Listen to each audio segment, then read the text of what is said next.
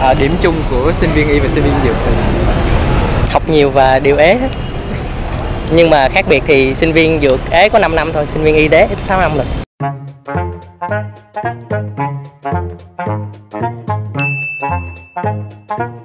Có năm cái nhiều. Cái thứ nhất là à, học nhiều ăn nhiều ngủ nhiều chơi nhiều. Và cái cuối cùng là gây cũng nhiều uh, xấu hơn mặt mụn nhiều hơn uh, với lại trông đờ đẫn hơn người bình thường một chút.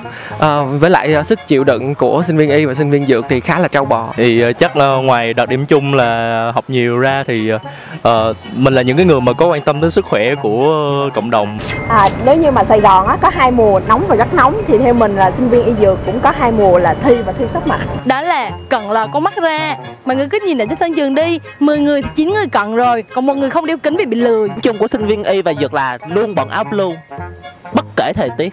Học nhiều á tại vì mình thấy các bạn lúc nào trong cặp cũng có slide có sách vở bút viết cái kiểu là giống như là các bạn có thể học mọi lúc mọi nơi á. Sinh viên dược thì chắc là phải được ra ngoài uh, làm việc với lại thiên nhiên cây cỏ nhiều. Rồi nếu như ở trong phòng thí nghiệm thì chắc là phải mấy mất thiết bị tiên tiến lắm.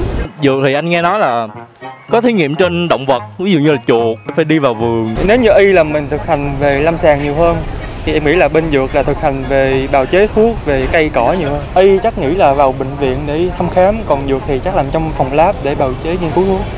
Nếu như mà sinh viên y á, thì cần một cái đầu lạnh và một trái tim nóng để thường xuyên thực tập trên xác chết. Và cũng như là tiếp xúc với máu á, thì theo mình sinh viên dược cần có một cái đầu nóng và trái tim lạnh. Bởi vì thường xuyên phải ờ, đối mặt với các câu hỏi vấn đáp hóc búa cũng như là việc làm bể dụng cụ.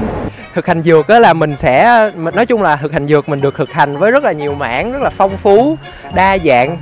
Và mình tiếp xúc phần lớn với những thứ vô chi vô giác, ví dụ như lạc len, bình cầu, ống đông pipet buret, hóa chất dung môi. Còn thực hành y thì mình sẽ tiếp xúc nhiều với lại con người, với bệnh nhân với những thứ ờ, mềm mềm. Thực hành dược các bạn phải cẩn thận hơn nếu không các bạn sẽ bán cả gia tài. Còn thực hành y các bạn coi chừng đền cả mạng sống.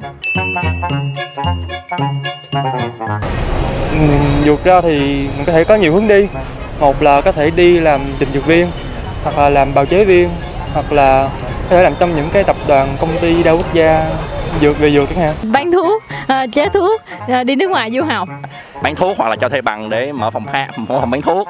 Nhưng mà cái đó là một phần rất là nhỏ ngành dược thôi. Ngoài ra các bạn có thể đi kinh tế dược các bạn có thể đi marketing về một cái dược phẩm nào đó hoặc là bạn đi trình dược viên bạn giới thiệu một sản phẩm dược mới dành cho các bác sĩ lâm sàng. Dược lâm sàng nghĩa là bạn cho lời khuyên cho bác sĩ một cái tuần thuốc mới khám phá ra những loại thuốc mới nghiên cứu đặc tính của loại thuốc đó đối với người Việt Nam gì đơn vân theo mình thì học y ra thì là bác sĩ. Chắc chắn là một trăm phần trăm mọi người nghĩ đến học y ra thì làm bác sĩ. Nhưng mà mình vẫn thấy là uh, có nhiều công ty dược á, vẫn có cái bộ phận medical á, thì vẫn tuyển bác sĩ. Theo mình học y nếu như mà tốt nghiệp loại xuất sắc á, thì có rất là nhiều việc để làm. Ví dụ như là làm bác sĩ ở các uh, bệnh viện công hoặc là các phòng khám đa khoa. Còn uh, nếu bí bách lắm thì chắc cũng làm bác sĩ gia đình được mà. Cũng là 10 luôn tại vì à, là tại vì y nếu mà học giải phẫu sinh lý rồi các thứ rất nhiều thì dược cũng phải học cây thuốc học tên khoa học này kia cũng rất nhiều thì mình nghĩ là 10 luôn.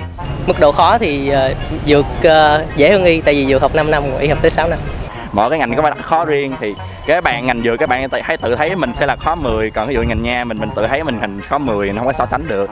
Nhưng mà nếu xét về độ khó thì đúng là ngành dược các bạn trọng về lý thuyết thì tụi mình thì không có giỏi về lý thuyết học nhờ bài lắm thì chỉ là tụi mình thấy là các bạn có thể là 15 thì mình hay học cái gì cũng cực hết cứ học là thấy cực rồi.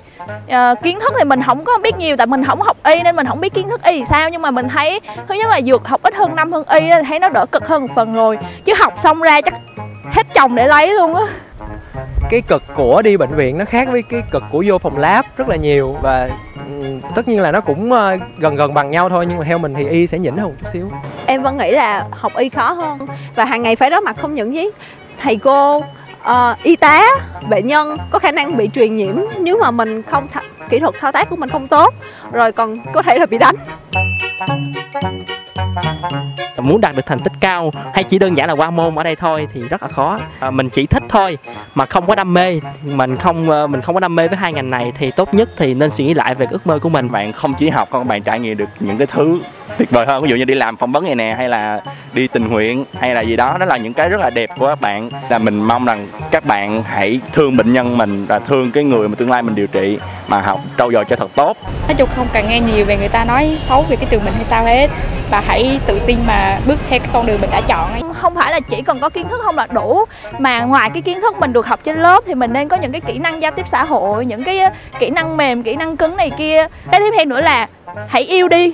Trời ơi hãy yêu khi mà các bạn còn ở sinh viên thì các bạn sẽ trải qua được cái mối tình sinh viên. Chứ hồi học xong ra trường là không biết yêu sinh viên là gì luôn á. Các em ơi hãy lắng nghe chị hãy lắng nghe chị. Cái này là rất là quan trọng đây này hãy lắng nghe chị. Đây này các em học hãy học vì đam mê. Đừng học vì gia đình. Gia đình không thể sống dùng cuộc sống của các em đâu.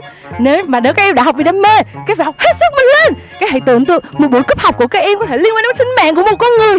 Như thế là không được cấp học. Biết chưa? Đó là những gì mình muốn ngắn nhủ.